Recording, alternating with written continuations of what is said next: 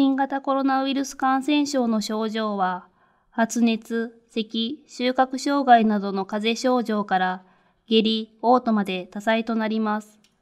主な症状とその割合を示していますが、夏であれば熱中症、冬であればインフルエンザと見分けがつかず、判断に難重します。発症後は8割の方が無症状か、軽度の風邪症状が出て1週間程度で回復します。ワクチン接種した方も症状が軽いと言われています。1週間から10日で2割の方が呼吸困難等の症状が出て、酸素飽和度が低下し、酸素が必要となり、入院が必要となります。10日目以降に5%の方が人工呼吸器を、2から3%の方が集中治療室での治療が必要となり、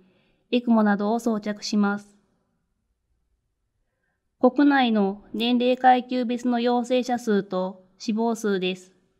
左軸の陽性者は20代をピークに少なくなり、60代からさらに少なくなっています。しかし、右軸に示しています死亡数は、年齢とともに大きく上昇します。70歳代では20人に1人以上、80歳以上では7人に1人が亡くなられています。重症化のリスク因子では、65歳以上の高齢者、悪性腫瘍、慢性腎不全、2型糖尿病、高血圧、脂質異常、肥満など身近なものが多く含まれています。しかし、これらはワクチン接種によりリスクが低下します。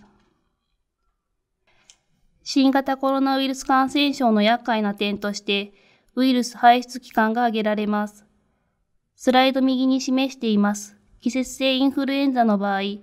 ピークは発症後となりますので、発症者をすぐに見つけ出した後にスムーズに対応することができます。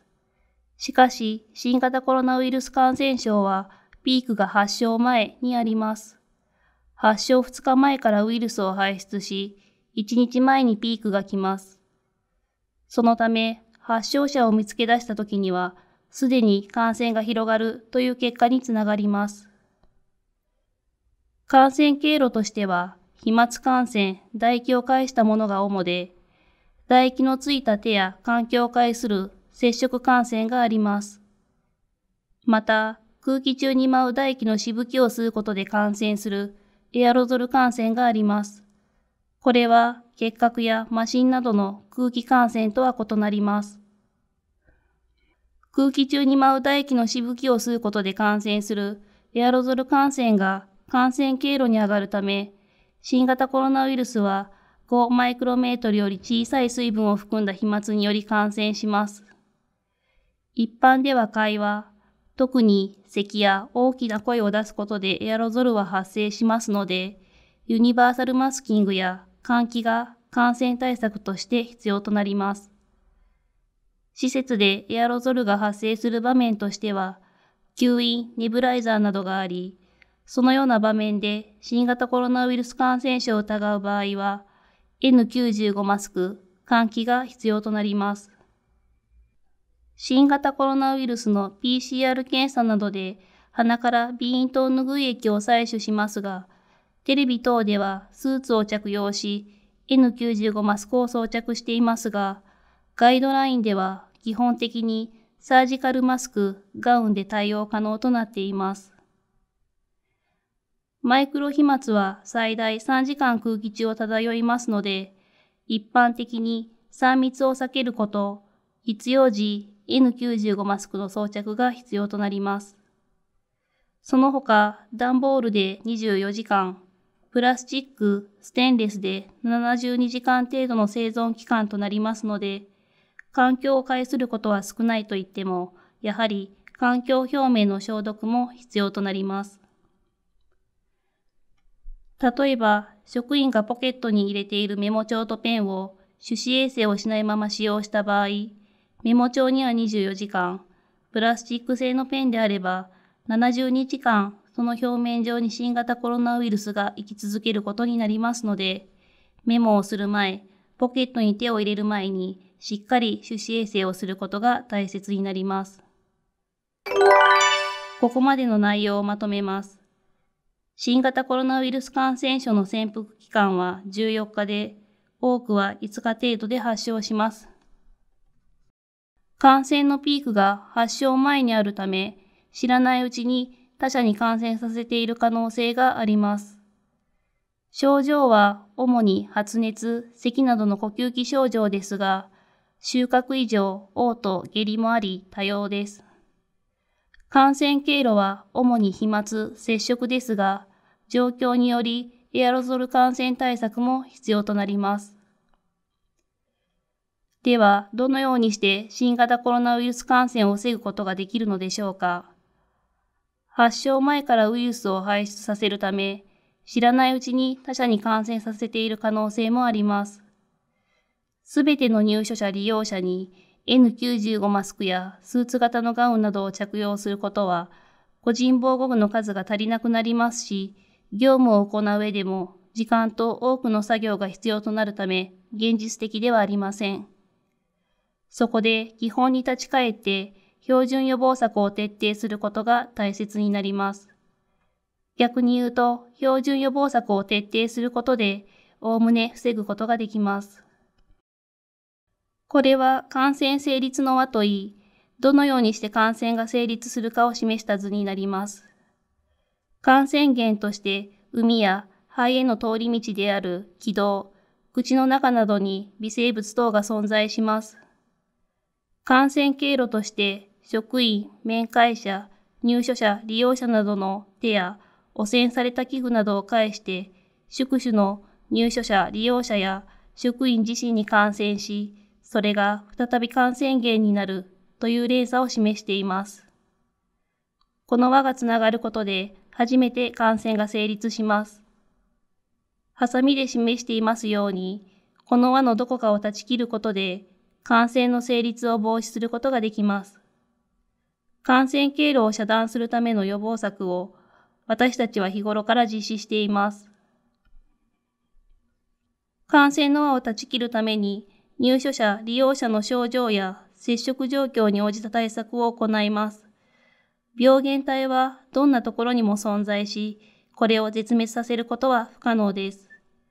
標準予防策を基本とし、それに追加して対象の疾患に応じた感染経路別予防策を行います。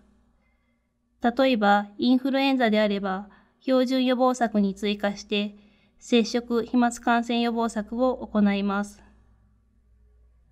感染の輪を断ち切るために大切なのが標準予防策になります。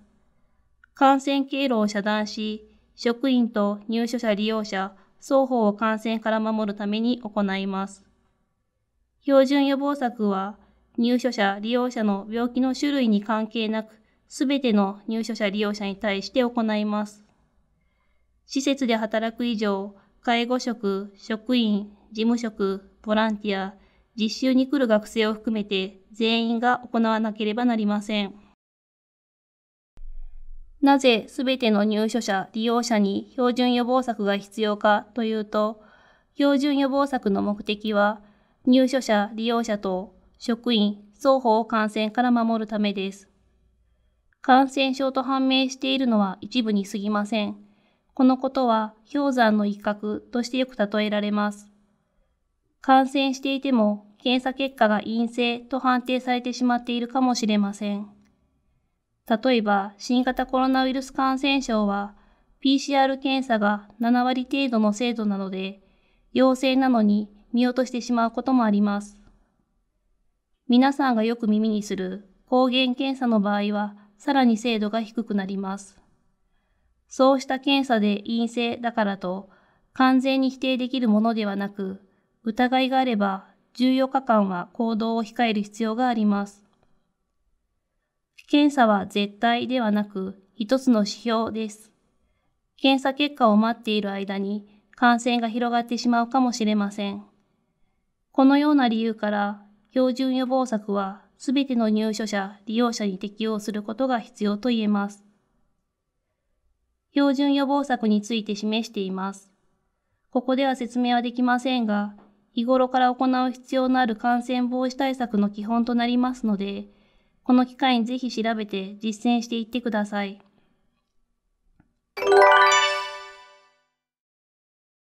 次に、新型コロナウイルス感染症特有の対策として、ユニバーサルマスキング、濃厚接触者について確認していきます。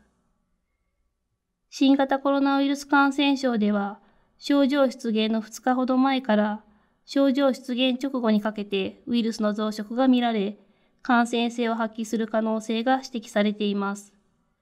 そのため、無症状、あるいは症状が軽微な職員から他の職員や入所者、利用者への感染を防ぐために、すべての職員が接触時に常時サージカルマスクを着用すること、ユニバーサルマスキングが必要とされています。原則、サージカルマスクが推奨され、入所者、利用者についてもマスクの着用が求められています。そして飛沫が飛ぶ距離2メートル以上離れるとマスクを外すことはできます。換気ができればさらに安全です。万が一、関係者で発生した場合の濃厚接触者の定義があります。濃厚接触者となると、いつ発症するかわかりませんので、潜伏期間の14日間、自宅や施設内での隔離が必要となります。職員の場合、勤務できなくなり、人手が不足します。入所者、利用者の場合は、厳重な感染対策を実施する必要がありますので、さらに対応は困難となります。